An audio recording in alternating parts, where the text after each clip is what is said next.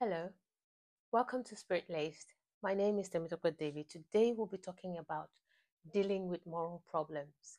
Dealing dealing with moral problems, and our text is going to be taken from the book of First Corinthians, chapter 1, verse 10 to 13, and the same First Corinthians, chapter 3, verse 1 to 17. First Corinthians, chapter 1, First Corinthians, chapter 1, 10 to 13, and First same Corinthians, First Corinthians chapter 3, verse 1 to 17. Amen. So this is the outdoor class in case you're wondering. And yes, I know we've been having a little bit of a difficulty uploading some of this content. Um, I do apologize for that, but hopefully things will get back to normal. And because I was also away for convention and um, uh, the network is pretty, pretty, pretty, pretty bad. So I couldn't do all of that, but hopefully it's going to get better.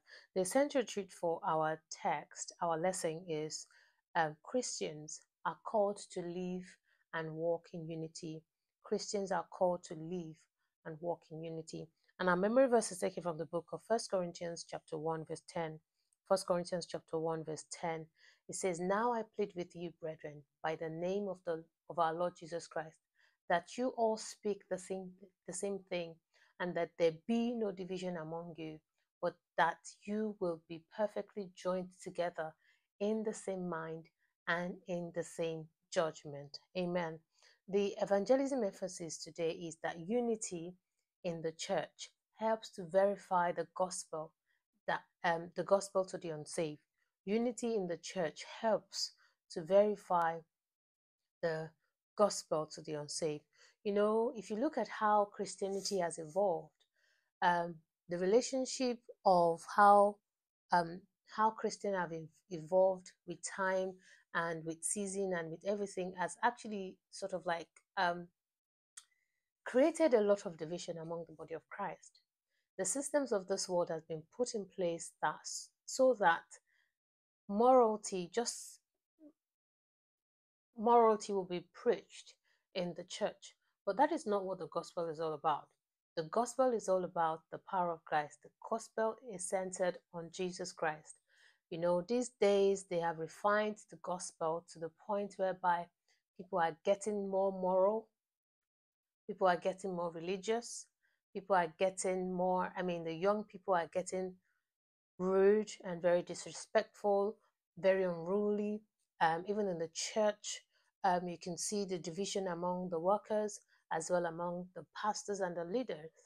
Um, you can also see a lot that is going on in, on the social media space. You'll be hearing this person calling out the other person. And again, that is taking away from this is just the work of the enemy trying to divide the church. And you know, when we lose the sense of what the gospel is, we forget and we start fighting and we start causing disunity amongst the church. Um, in this class, we'll be looking at um, um, three outline. The first one is to pursue unity, pursue unity. To the second is to pursue spiritual maturity, and the third is to build on Christ. The third is to build on Christ. Again, because of our time, we'll not be looking at all the uh, the lessons, uh, all all the text, but just for just for context purposes, I'm going to read First Corinthians chapter chapter one, verse three to um, First Corinthians chapter one. Bear with me one minute. Verse ten to thirteen. So verse ten to thirteen, it says. Now I plead with you, my brethren. I'm reading from the New King James Version. It says, Now I plead with you, my brethren, by the name of our Lord Jesus Christ, that you all speak the same thing, and that there be no division among you, but that you be perfectly joined in the same mind and in the same judgment. For it has been declared to me concerning you, my brethren, by those of Cleo's household, that there are contentions among you. Now I say this that each of you says, I am of Paul, or I am of Apollos, or I am of Cephas, or I am of Christ. The question is Is Christ divided? Was Paul crucified for you, or were you baptized in the name of Paul?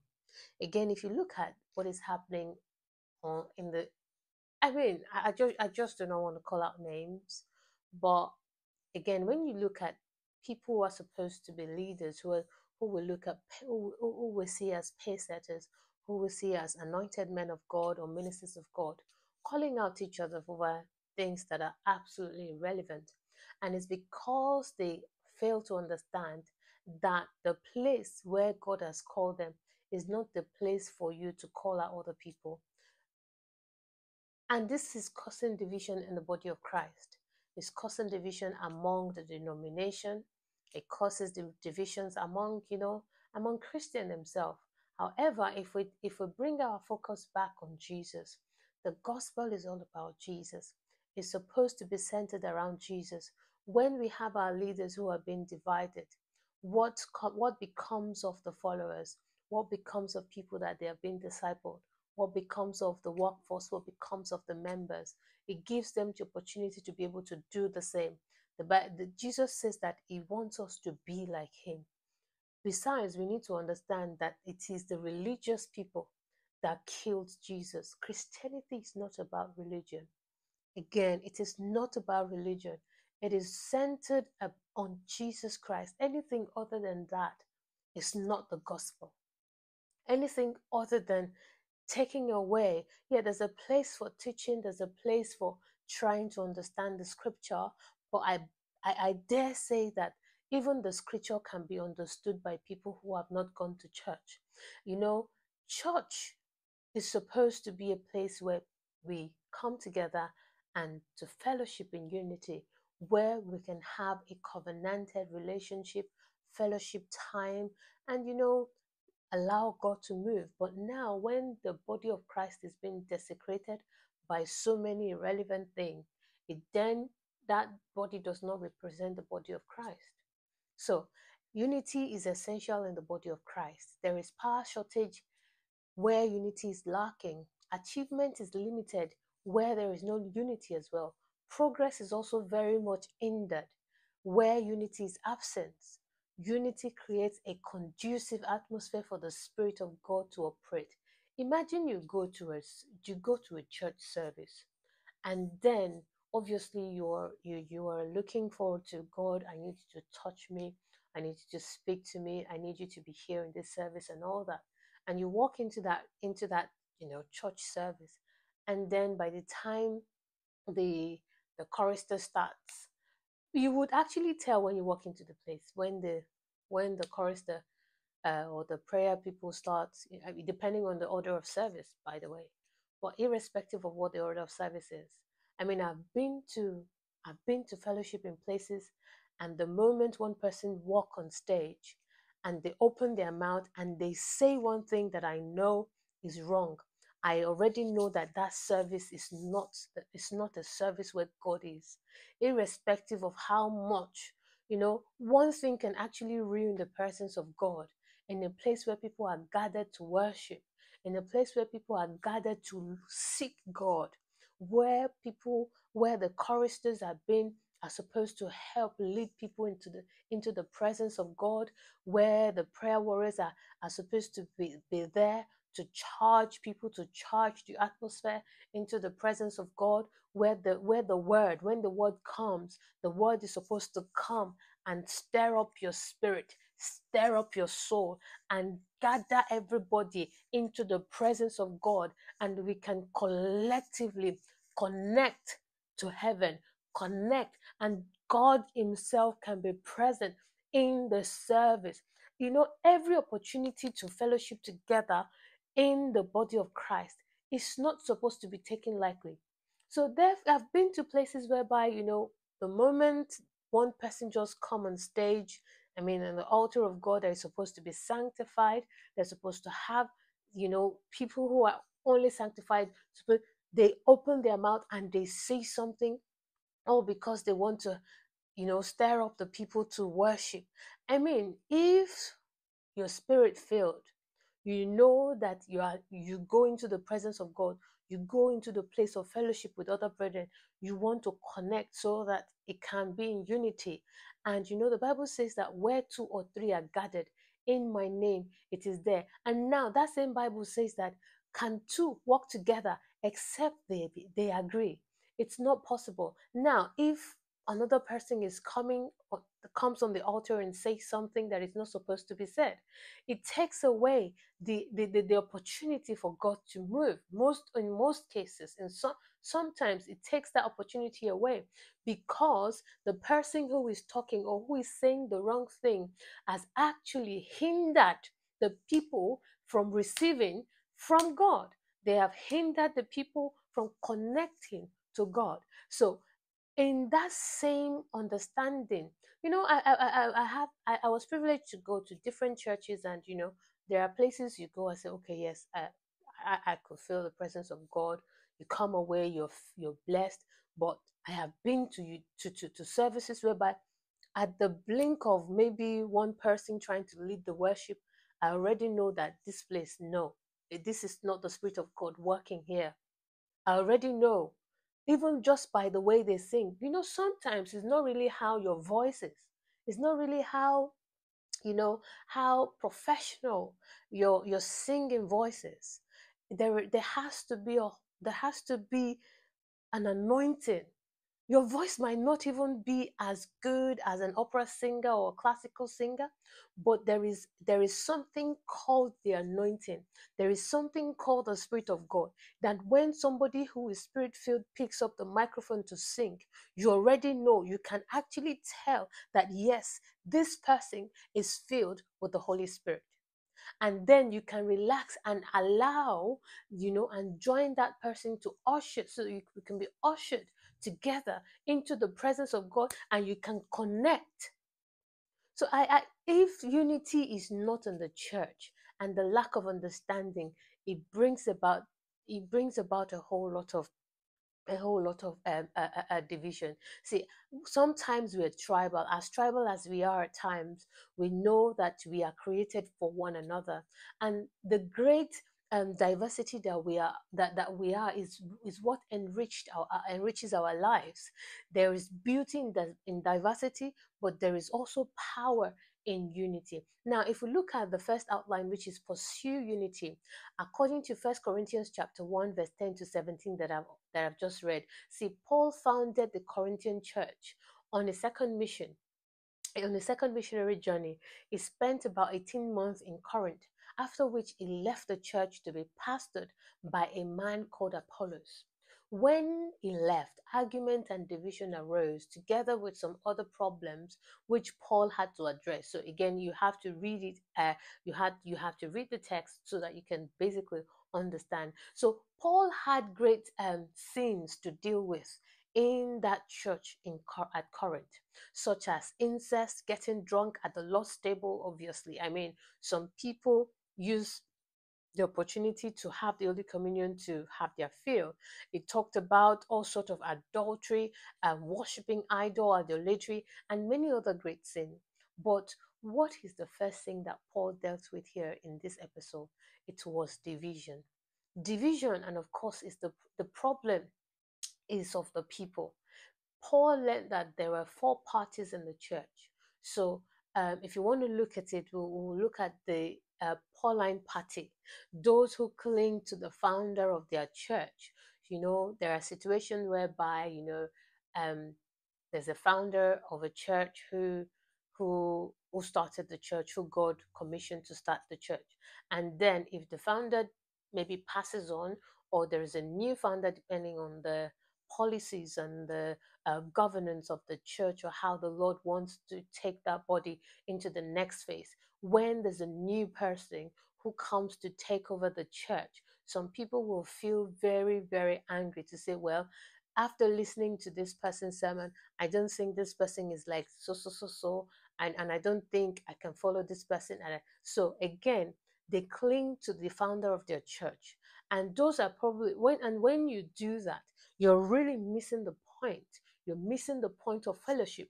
You're missing the point of the, the, the authority. You're missing the point of the gospel. So there are people who said, well, um, because it was Paul who founded the church, I'm going to, you know, stick with Paul's doctrine and all that. And then there are other people who were also the party of Apollos, those who were who were probably carried away by the uh, admiration of is maybe I, I, would suggest an Alexandrian philosophy, and there are also party of uh, Judaizers who those who claim to uh, um, be following Peter, and the fourth party were people who were claiming to be um, to be different from all human followers and to be only of Christ. We, we get this set of people in the church. There are people who say, well, irrespective of what, whatever is happening here, I am for Jesus, I am for Christ. It doesn't concern me what is going on. Again, when you do that, there is division. If you if you're saying, well, okay, I'm going to just follow the apostles, um, I'm going to follow the apostles' uh, way of doing things. Again, when you do that in a place where you're supposed to be a place of fellowship, that means there's a division there. When you are just for the founder, you remember Christ is the head of the church. If we forget the place of Christ and we begin to look at the people and we begin to lift people above God, it brings about division. See, whether it be the, you know, Paul began to wonder whether the current quarrel had divided Christ into fraction. And again, you can see that some people physically raised up their hand to say, I am for Paul, I am with Peter's because Peter's uh, Peter has some, you know, Judaism um, doctrine in his in his teachings.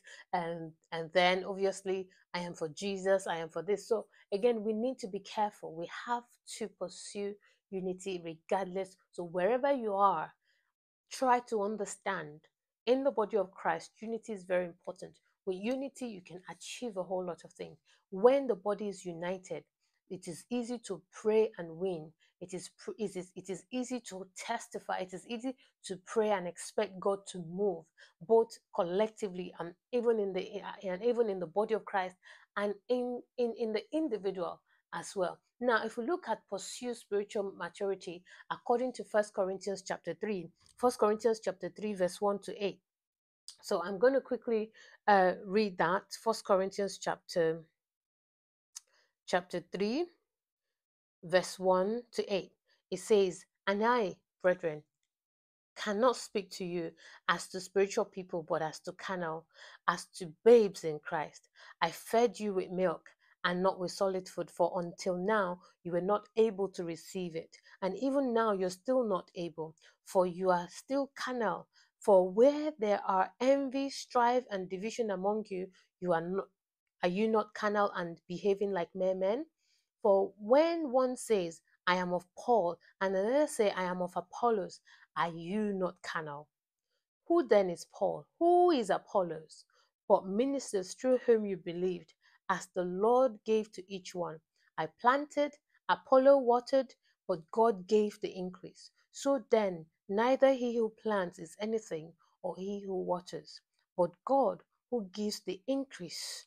Now, he who plants and he who waters are one, and each one should, will receive his own reward according to his labor. See, Paul described their life of this division. I'm going to be is because of the lack of maturity, the lack of understanding of the kingdom principle, the lack of understanding of what Jesus has done for them. It is the lack of understanding, of understanding there is power in unity. The Bible says one will chase a thousand and two, ten thousand. And imagine what three people can do. Imagine what five, ten people can do when they are united. Paul described them that they that their life is like a life of a baby Christian, a cry baby that is so, so, you know, and and this type of men they are characterized by you know they are helpless you know because he's a new born infant. If you if you look at a baby a baby cannot clean up themselves. They only cry when they need maybe when they when they're hungry or when they need to look when, when they need to to be to be cleaned. And again he said that this type of christian has not been able to receive anything yet but milk. The only thing they can feed on is milk you cannot offer them any solid food because their stomach will not be able to digest it. And so is it with any Christian who is part or a key, you know, a key divider of the church, it means that you are not yet matured in the things of God, irrespective or regardless of how long you've been in the church. As Christians, we are expected to grow from just milk into solid food and breaking bones. It is not just sitting down and, and waiting to be fed and waiting to, to, to be cleaned up, but we, we need to walk. We need to we need to mature ourselves by reading the scripture by asking god to help us. The holy spirit is there to do these things. This type of people are people that walk and talk like an unsaved person. In fact their perspective to life is just so carnal it's so carnal that you wonder are these people are, are, are, are these people um are these people christians are they Christians? Are, are you, when when they see when they see when you see how they respond to to to to to to to, to certain conversations, you begin to wonder. I mean, are, are, are, are you are, are you are you a Christian? And then you begin to understand how they you begin to listen to how they interpret the scriptures, and you begin to wonder. Sorry, is it the same Bible we're reading? Is it the same Holy Spirit that is helping us? That is that is helping us, that is helping you too? You know, they begin to talk, and the Bible says, For to be carnally minded is death, but spirit to but to be spiritually minded is life and peace. Everything is just liberal. It doesn't matter, it doesn't mean it's not that deep.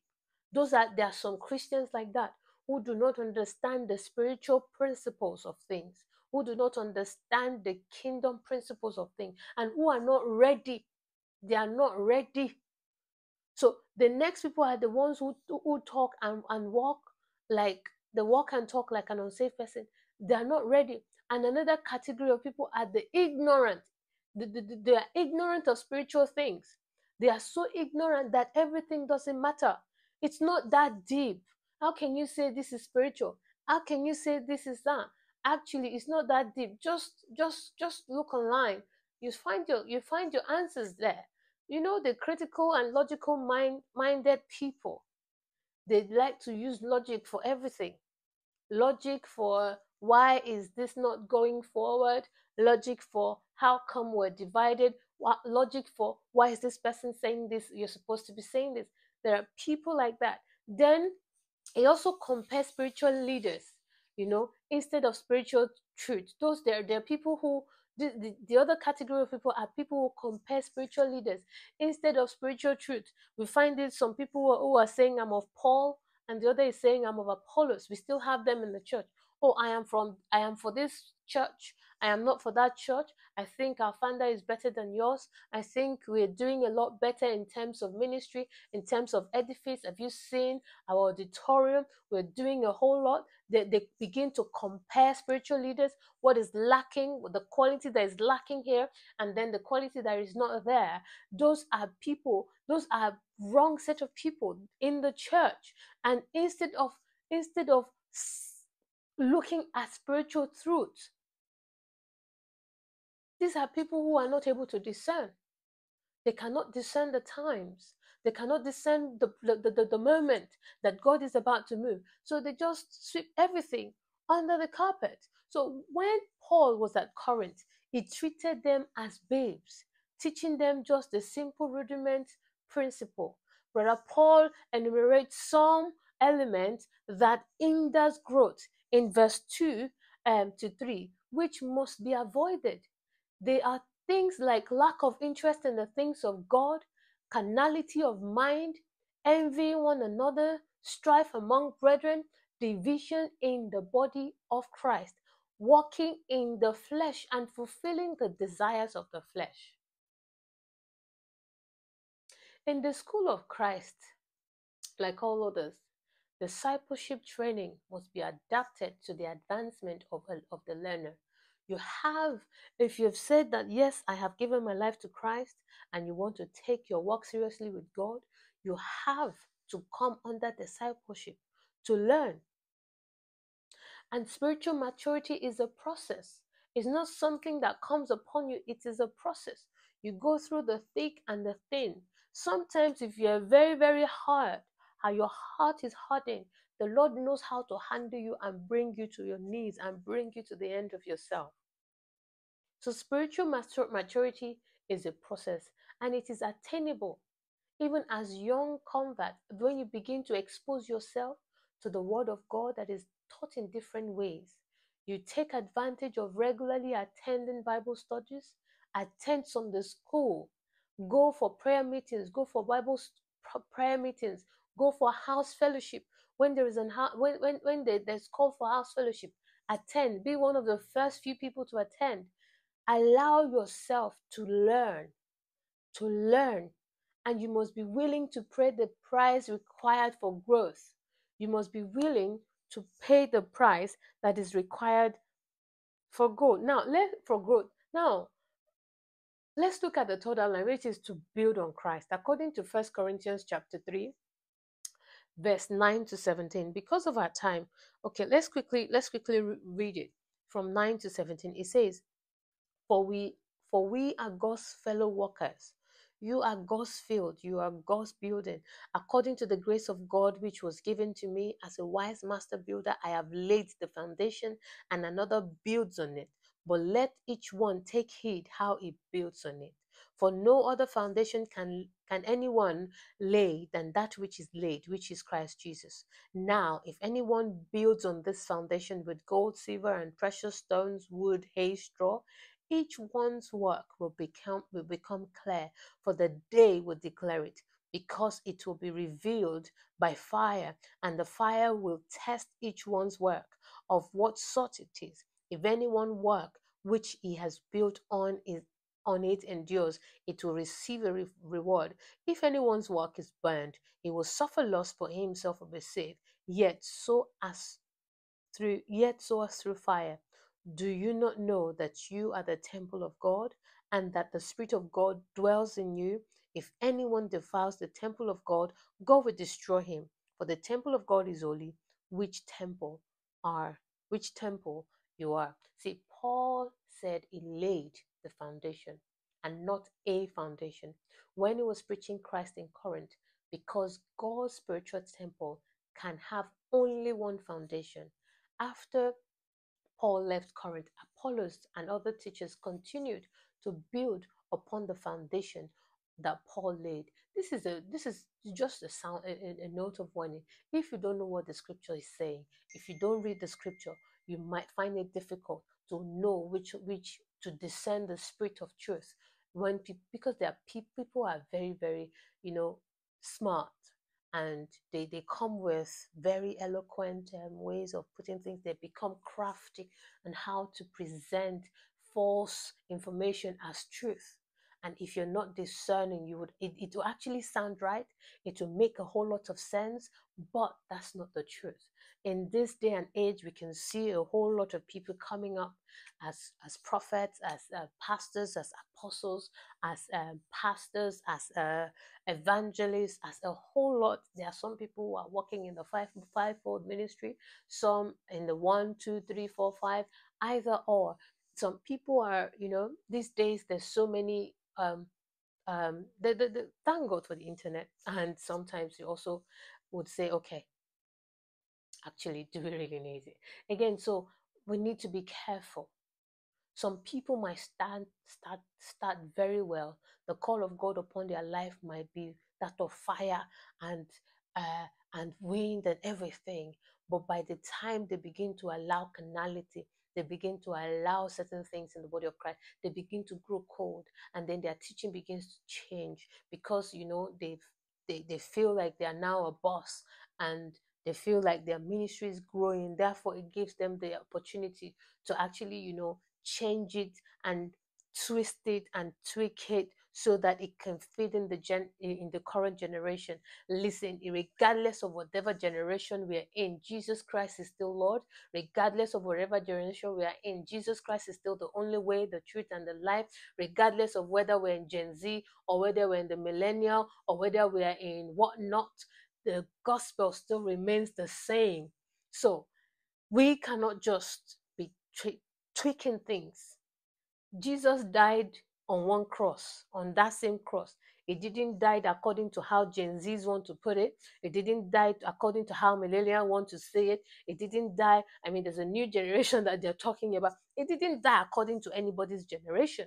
It died so that you and I can be saved. And that is what the gospel is all about. There's no division around that. So Paul Paul likens the church, uh, the church to God's field and God's building, and he wants that everyone building on this foundation should be careful of the quality uh, of, of the quality of the material which they are build which they are building so that they can withstand fire of testing you know um, and this is just a, a, a, word in case you you started very well with so much fire. Please go back to the basics. Go back to the foundation. The foundation is christ. Any other thing that has been that has been attached to the foundation it's no longer christ. Okay? And i pray that the lord will help us all in jesus name. See teachings should have the goal of modeling christ in in a believer's life their erroneous doctrine and unsound teaching are materials described as wood hay stubble and this will be revealed as the challenges of life arises. I think I, I was looking, I was watching, I watched a clip about one person who was being who said he wanted his tithe and offering back in the church. Obviously, I am I'm, not blaming that person. In fact, I'm not condemning that person. I, I, I can actually say it is because that person was not really told the truth about Christ. You know, is there's a place for prosperity teaching and there's a place for teaching Jesus, for revealing Jesus and asking Jesus to be revealed to people. Because these religious people are the same people who kills Jesus. So Christianity, you know, we just when you when you look at it, we're just talking religion, religion, religion. But when the name Jesus Christ is being mentioned, it is not a religion, it is a relationship. It is the father to child, father to son, father to daughter, relationship. It is a family affair, it's a kingdom affair. It's not a religion. So, um, when we look at the materials that are that, that, that, are, that are mentioned in our text, see the structure will not survive um, fire testing if the materials are you know substantial and they will not pass the test of time. And these and and precious and imperishable wood would mold men into the image of Christ. A Christian who will be able to withstand adverse and difficult con- conditions must embrace balanced biblical doctrine because it is one thing to sell the gospel of wealth and people keep coming and yet they are not blessed. That is not what the gospel is about. In fact, to switch it around, the Bible says that seek you first the kingdom of God and all those things will be added unto you. The fact that you're a Christian does not mean you're going to be poor. No, but there has to be a balanced biblical doctrine so that when Jesus is revealed, because I was I think I was talking to the Holy Spirit one day, I was like, ah, I was talking to Jesus. I said, Jesus, to give life, to give my life to Jesus is a very simple thing.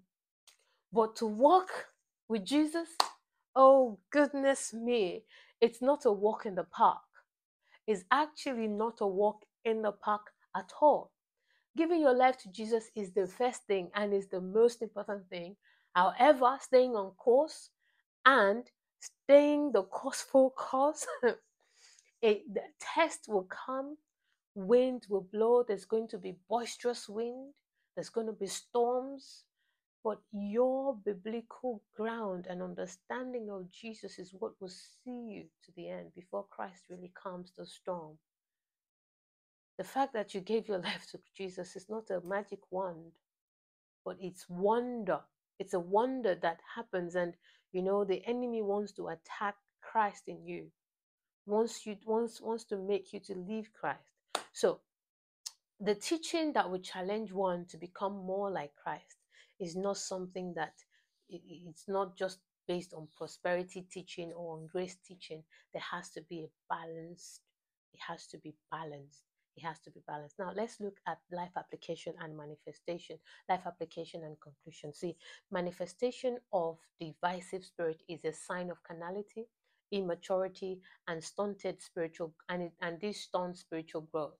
The sign of a maturing Christian is he who hungers and thirsts for the word of truth. It shows progressive growth and maintain a consistent relationship with the Holy Spirit. To remain a baby Christian is to cause problem and disunity in the body of Christ, even for yourself. This does not add value to the body, neither does it represent the virtues of Christ. How important unity is to Jesus was shown in his prayer recorded in John chapter 17, 11b to, to 19. And it says, Holy Father, keep through your name those whom you have given to me, that they may be one as we are. While I was with them in the world, I kept them in your name. Those whom you gave me, I have kept, and none of them is lost except the son of perdition, that the scripture might be fulfilled. But I now, but now I come to you, and these things I speak in the world, that they may have my joy fulfilled in themselves. I have given them your word, and the world has hated them because they are not of the world. Just I am, just as I am not of the world, I do not pray that you should take them out of the world, but that you should keep them from the evil one. They are not of the world, just I am, just as I am not of the world. Sanctify them by your truth. Your word is truth. As you sent me into the world, I also I have sent them into the world for their sakes. I sanctify them, that they also may be sanctified by the truth. When we dwell in unity, God commands his blessing upon us. Psalms 33, uh, Psalm 113, verse 1 and 3. See, nothing derails Christ's vision more than this unity in this rank. If you have not subscribed to the YouTube channel, please do so right now. I want you to um, and also share this share this video. I believe it will bless one or two persons. Again, um, just so you can join in the in the conversation, leave it in the comment section if you can. Um, the question will be how can we handle the plague of disunity in the church? How do you think, as Christians, we can handle the plague of disunity in the church? And how can we put an end to gossiping, bickering, and discord in the church? How can we put an end to gossiping, bickering, and discord in the church? And the last thing is how can you be helped? How can you be helped to serve God better? How can you help to serve God better? Be of help to serve God better. So this is Spirit Laced. We have now come to the end of this class. Please follow, like, and we're on YouTube, we're on um, Instagram and Facebook. Leave a comment. My name is Temitope David. Till I come your way some other time. Have a wonderful week. Take care now. God bless you.